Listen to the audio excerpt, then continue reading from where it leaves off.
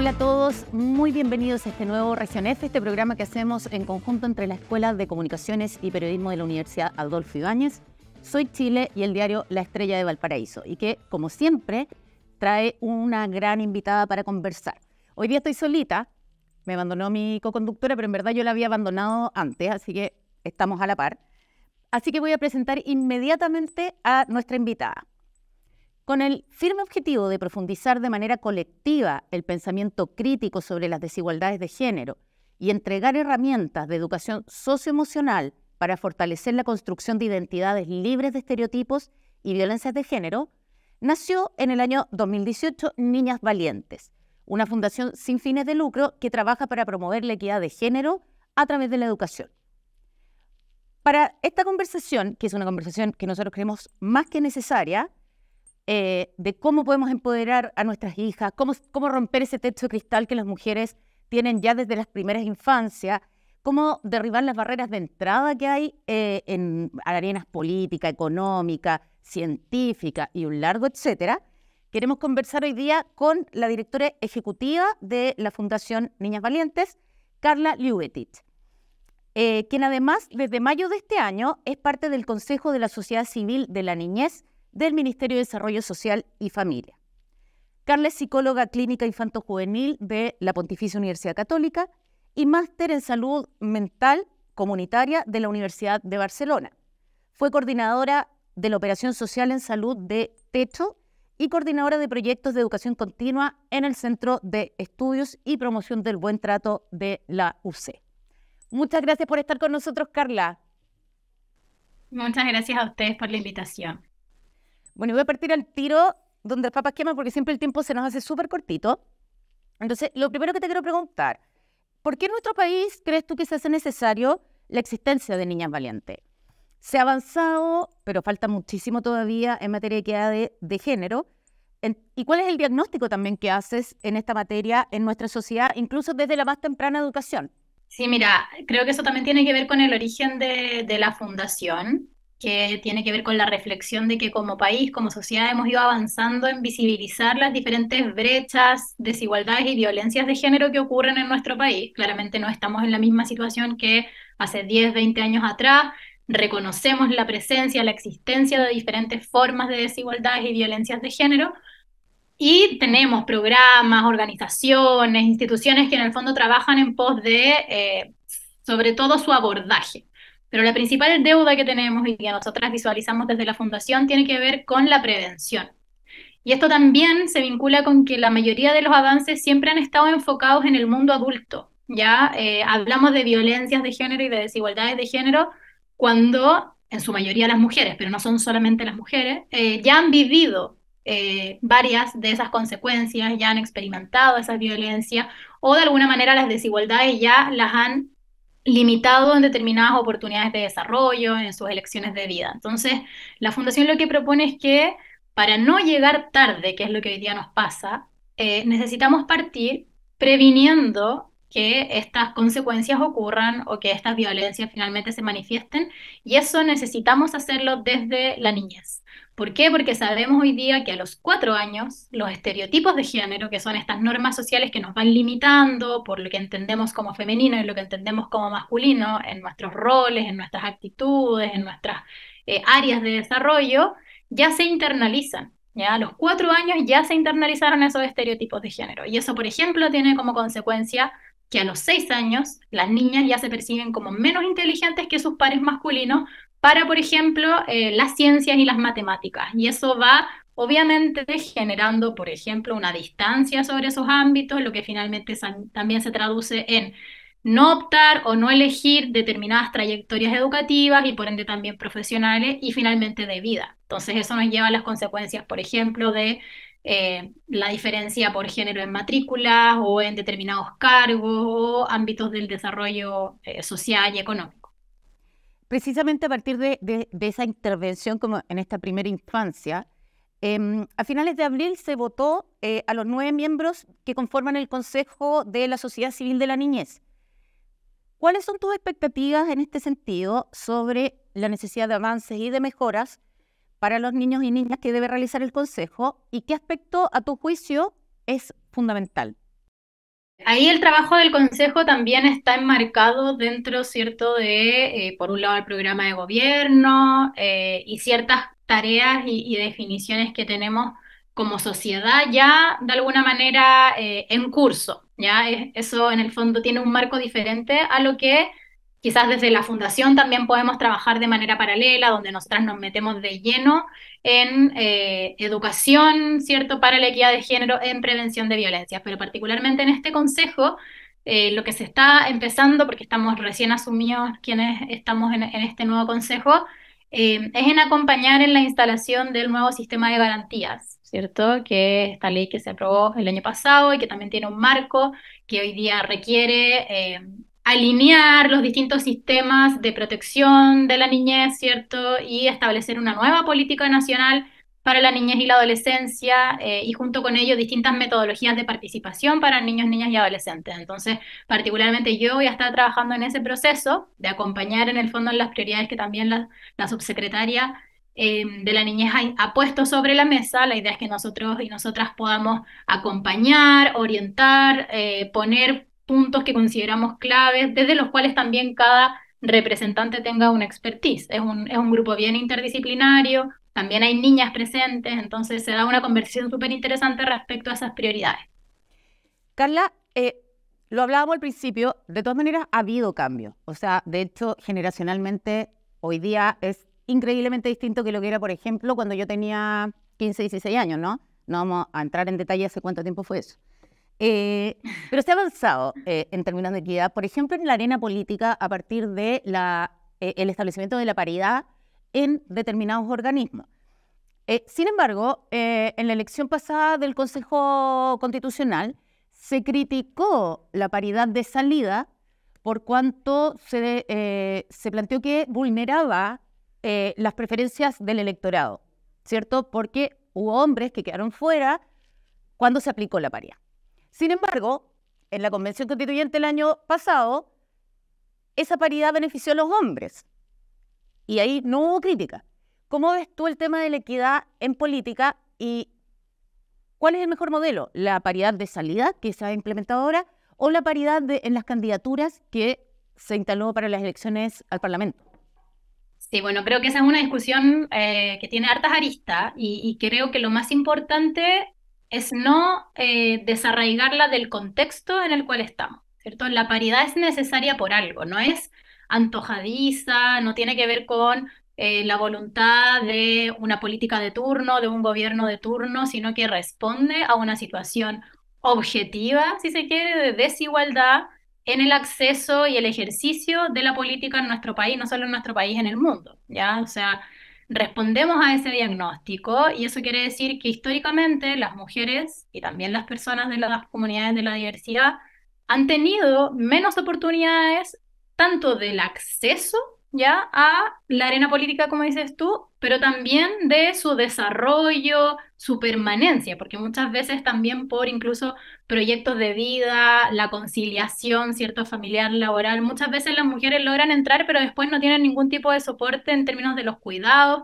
eh, y de la corresponsabilidad para poder seguir ejerciendo su propio desarrollo profesional, y esto en general, pero particularmente también en la política. Entonces creo que responder a ese contexto es hacernos cargo y la equidad tiene que ver justamente con eso que es lo que la diferencia de la palabra igualdad. La equidad tiene que ver con reconocer que no partimos de la misma base y necesitamos hacernos cargo de eso para que podamos llegar a una igualdad de derechos y oportunidades, ¿cierto? Y eso quiere decir que hay que establecer ciertos mecanismos que puedan de alguna manera contrarrestar esta desigualdad de base. Y la paridad aparece como eso, ¿cierto? Como una forma, una estrategia, más no necesariamente la solución estructural a esto, es más bien un camino, porque también el que participen más mujeres en la política también va transformando ciertas lógicas. Entonces es un proceso, ¿no? No se acaba ahí. Y no se cambia de un día para otro tampoco, ¿cierto?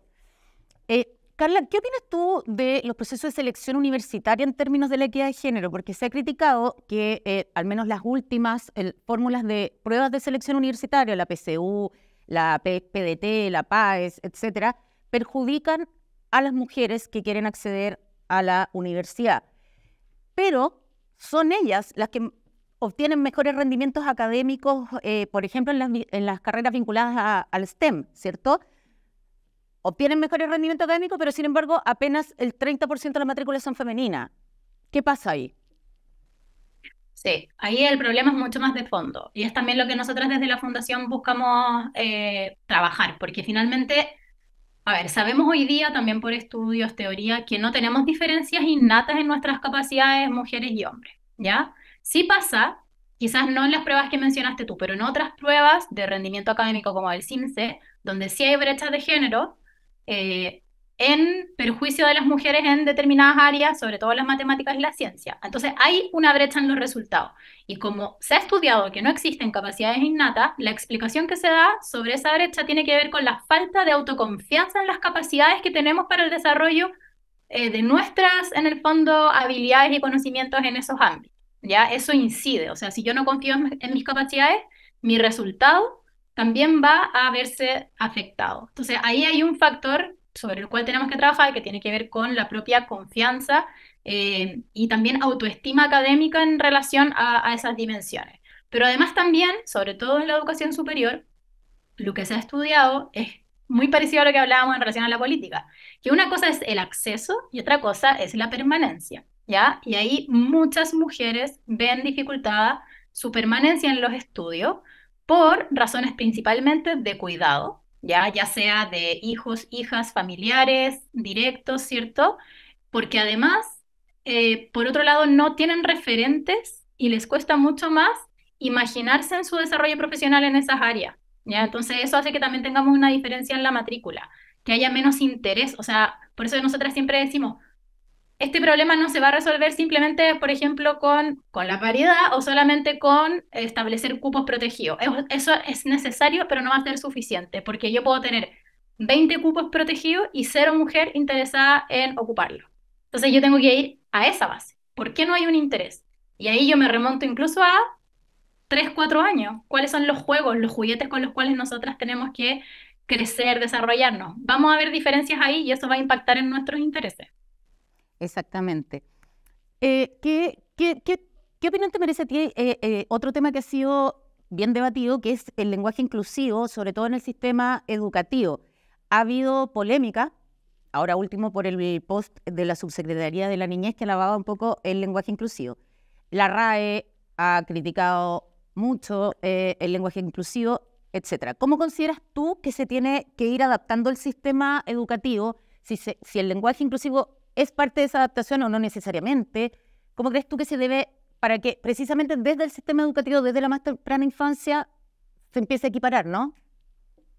Este creo que también es un tema que tiene distintas aristas em, y, y, hablar de la RAE creo que también tiene un, un límite en el sentido de que la, la, misma RAE ha ido evolucionando durante los años, ha ido transformándose, el lenguaje se ha ido transformando en muchos contextos de distintas formas. Entonces, pensar el lenguaje como algo inamovible eh, y como en el fondo un, algo que está fuera de, la sociedad, creo que, que no, no, ayuda a llegar a un acuerdo, a un consenso respecto a, estas temáticas. Y hablar de lenguaje inclusivo creo que no significa necesariamente eh, usar la X, usar la E, eh, acá hay un montón de guías, de hecho, educativas sobre las cuales nosotras trabajamos eh, y, promovemos también en lo que hacemos, donde finalmente sí se puede pensar en un lenguaje neutro en términos de género. ¿ya? Hay, hay estrategias, hay conceptos que lo permiten, dejar de hablar de alumnas y alumnos eh, y decir estudiantes, en vez de hablar de profesoras y profesores, hablar de equipos docentes, equipos educativos, y nosotras en nuestro ejercicio cotidiano lo hacemos, entonces se puede hacer. Y finalmente, más allá de, de, lo técnico o, lo eficiente o no, que es otra discusión que, que se da, la pregunta que nosotras siempre les hacemos a los equipos con los que trabajamos tiene que ver con, ¿qué es lo más importante aquí? ¿Transformar alguna de las palabras o reconocer la experiencia de vida y la subjetividad de otra persona, que tiene derechos, que tiene dignidad, que en el fondo requiere, al igual que todas las personas, un trato respetuoso. Y ahí nosotras siempre planteamos como la importancia de, la humildad en ese sentido y de poder reconocer a la otra persona. Eh, y si esa otra persona me dice, mira, yo prefiero que tú me llames por mi nombre social o mi pronombre eh, no es el femenino, es el masculino, por ejemplo. ¿Qué, ¿Qué, es lo que me cuesta a mí poder hacerlo para poder respetar y resguardar la dignidad de esa otra persona? Nada, nada, quizás no lo voy a entender en un 100%, no se trata de eso, pero sí puedo empatizar, reconocer y actuar en función de ese respeto. Eh, Carla, como fundación, yo me imagino que ustedes eh, tienen el mismo problema. De hecho, me metí a ver la página y todo y estaba el botoncito dona aquí. Entonces, me imagino que tienen el mismo problema que tienen en general las ONG respecto de los recursos, la falta de recursos. ¿Cómo ven hoy día la discusión que se ha abierto a partir del caso de esta fundación eh, Democracia Viva, ¿cierto? Que hizo mal uso de los recursos, ¿no? Eh, pero que ha abierto una discusión respecto de por qué tiene que existir fundaciones que se hagan cargo de temas que debiera haber el Estado, si el Estado tiene que ser más grande y hacerse cargo, por ejemplo, de las personas discapacitadas, como lo hace la Teletón, o, los niños, niñas quemados, eh, como lo hace Coaniquem, o ustedes mismos. Eh, ¿Qué opinas de esa dinámica y, por qué son necesarias las fundaciones o, o si el Estado está podría hacerse cargo de todo esto? Mm. Sí, son, son hartos niveles de discusión, ¿cierto? Uno tiene que ver con el mal uso de recursos de una eh, o dos o las que sean fundaciones en específico, que obviamente si es que están en irregularidades tienen que ser investigadas, sancionadas, ese es un nivel de discusión como en cualquier ámbito de, de la sociedad, ¿cierto? Sea público, privado, etcétera. Eh, y la discusión de fondo creo que tiene que ver con la que planteas tú respecto a cuál es eh, la responsabilidad del Estado en poder garantizar el trabajo que se hace hoy día en términos de eh, ciertos servicios que son privados pero tienen un rol público. Con privados me refiero a que están fuera del Estado, ¿cierto? Como el rol que ejercemos las fundaciones. Eh, y ahí creo que hay como diferentes elementos a considerar. El primero tiene que ver con que hoy día el modelo económico, social y político que tenemos impide que el Estado garantice todo, todos esos accesos a estos servicios o derechos, porque muchos son derechos que eh, desde mi punto de vista sí debiesen estar garantizados por parte del Estado y se ha reconocido la necesidad de este tercer sector que pueda en el fondo apoyar en la ejecución de estos eh, servicios, productos, bienes, proyectos, etcétera, porque hay de todo. Em, pero ahí, obviamente, desde mi punto de vista, el ejercicio del trabajo de las fundaciones debiese ir alineado con eh, los objetivos sociales que tenemos como a nivel de Estado, ¿cierto? Como en el fondo debiese pensarse también como la posibilidad de eh, generar nuevos conocimientos, nueva evidencia, nuevas herramientas que puedan servir para lo público y que en el fondo eh, esto vaya a fortalecerlo, pero en ningún caso reemplazarlo. Yo creo que eso ha sido un problema también. Eh, y, yo pertenezco a una fundación y creo en lo que hace mi fundación, pero me encantaría que esto pudiese estar garantizado para, para todo el mundo, ¿cierto? Y una fundación no lo puede hacer. Claro, pero el Estado en el fondo se apoya en que hay una fundación que lo hace. Claro, eh, ustedes tienen una alianza, tú lo comentabas hace un ratito, eh, con la Subsecretaría de la Niñez, o sea, en la Subsecretaría de la Niñez con la ministra de la Mujer y Equidad de Género, Antonio Orellana. Eh, ella ha trabajado, se la ha visto trabajando con usted en distintas ocasiones y también han vinculado la labor con el Parlamento. ¿Cómo valoran ustedes esas alianzas y cuál es la relevancia de que se materialicen? Nosotras somos firmes creyentes del trabajo articulado y en red.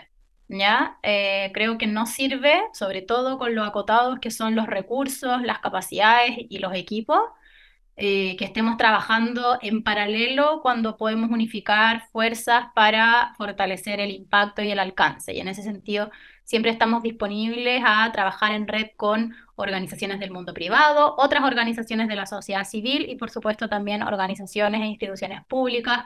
Hoy día nosotras tenemos un convenio con el INJU, por ejemplo, de trabajo en materias de juventud y equidad de género, hemos sido parte de la mesa técnica que levantó el Ministerio de Educación en su minuto para el proyecto de ley de educación en afectividad y sexualidad integral, pero buscando aportar desde nuestra experiencia. Ese es el, el, foco desde el cual trabajamos de manera articulada, el poder mirar lo que se está haciendo, ver cómo eso se alinea con lo que nosotras podemos aportar, nuestros conocimientos, nuestras experiencias y que eso vaya a nutrir la política pública. Ese es el foco de, de las alianzas en general y que ese es un rol súper importante que tienen precisamente mm, no solamente la fundación que, de la que tú formas parte, sino en general varias ONG, o sea, en términos de eh, entregar pensamiento, entregar conocimiento cuando se discuten, por ejemplo, eh, distintas políticas públicas que influyen en distintos grupos, ¿no? Tú mencionabas la, de, la ley de em, educación sexual integral, que, en la que aportaron, ¿cierto?, con el Ministerio de Educación. Em, pero esta últimamente ha sido eh, bien criticada por eh, distintas, eh, distintas organizaciones políticas fundamentalmente. ¿Cuál es a tu mm. juicio la importancia de contar con este tipo de educación y de aplicarla correctamente? ¿Y cómo se le puede explicar a la sociedad también esto, este tipo de educación, sobre todo a los grupos más conservadores que, que todavía como que tiritan un poco, ¿no? Sí, sí.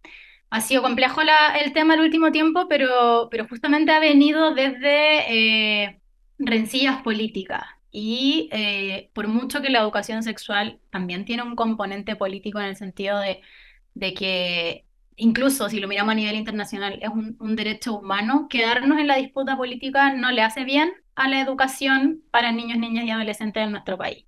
Tenemos altas tasas de embarazo adolescente no planificado, tenemos cada vez más altas tasas de contagio, de infecciones, eh, de transmisión sexual, situaciones de violencia de género en la escuela. Entonces, las cifras y la realidad nos muestran de manera muy clara y nos escandalizamos cuando vemos las noticias y los titulares sobre estos temas de todo lo que necesitamos hoy día aprender ya sea a nivel de los colegios y también a nivel de las familias, para educar y prevenir estas distintas situaciones. Entonces, los, datos están no solo aquí, está estudiado a nivel internacional, eh, los avances que se han buscado desarrollar acá en Chile también se basan en esa evidencia y creo que eso ha sido lo que ha costado mostrar y es donde nos tenemos que enfocar en entender más allá de los mitos que se establecen y de las fake news en relación a la educación sexual, que es la educación sexual en ningún caso sexualiza a niños, niñas y adolescentes, todo lo contrario, está comprobado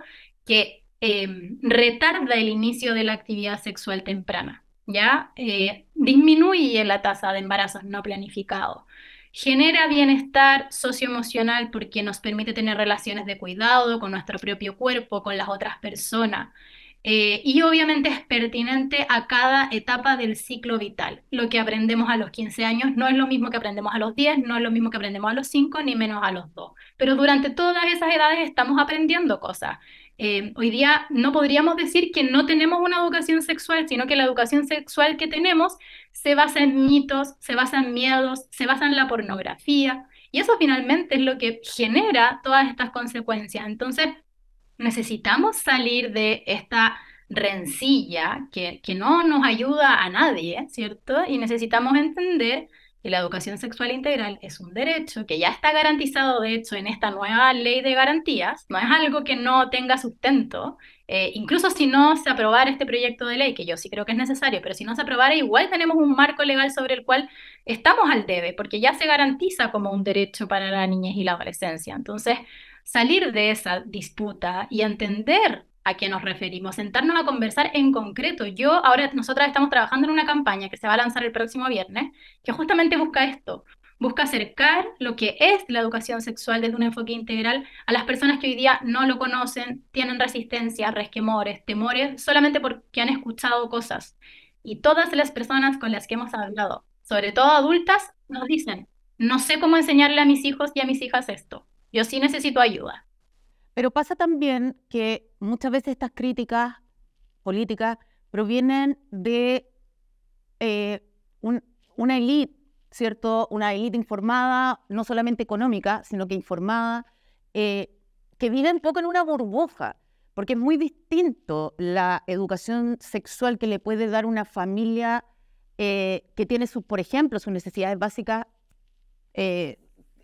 listas, digamos, y, y, papás que estudiaron y qué sé yo, a la que a lo mejor se puede dar en un sector más vulnerable, con papás que tienen menos conocimiento que entregar, con el reggaetón, perdón, pero el reggaetón sonando a todo chancho todo el día. O sea, también se habla de una burbuja de repente respecto de que esta educación se entregue en la casa, ¿no? Exacto. Bueno, y, pues, con mayor razón eh, la importancia del sistema educativo, porque todas, en general, las niñas y niños de nuestro país, es muy poco el porcentaje de, de personas que no están escolarizadas, pasan por el sistema educativo. Entonces, es una manera de también poder llegar a toda la población independiente eh, esa realidad socioeconómica. Obviamente tampoco la educación es la misma y también está totalmente permeada por el contexto socioeconómico, pero si hoy día por lo menos lo garantizamos eh, en, en, términos educativos, vamos a poder llegar con conocimientos que van a permitir tomar mejores decisiones. De eso, tiene, de eso se, trata también, de poder tomar mejores decisiones respecto a nuestros proyectos de vida, de poder cuidarnos, de cuidar a otros. Y eso obviamente quizás no va a generar un cambio mañana, sino que en estas mismas generaciones que hoy día se están educando, cuando también puedan eh, tener sus propios proyectos familiares, por ejemplo, y van a tener más herramientas para educar a sus hijos e hijas de las que hoy día quizás tuvieron quienes están criando, ¿cierto? Exactamente. Y también un tema de prevención, ¿cierto? En la medida en que el niño desde, desde chico entiende eh, que su cuerpo es privado, que nadie lo puede tocar, etcétera, también hay un tema de prevención, ¿no? Eh, Carla, te queremos dar las gracias eh, por habernos acompañado. Este tema da para hablar muchísimo, muchísimo tiempo. Eh, un tema bien sensible y bien complejo. Eh, pero muchas gracias por estar con nosotros. Y a todos los que nos están viendo, muchas gracias por estar acá y nos vemos en dos semanitas más.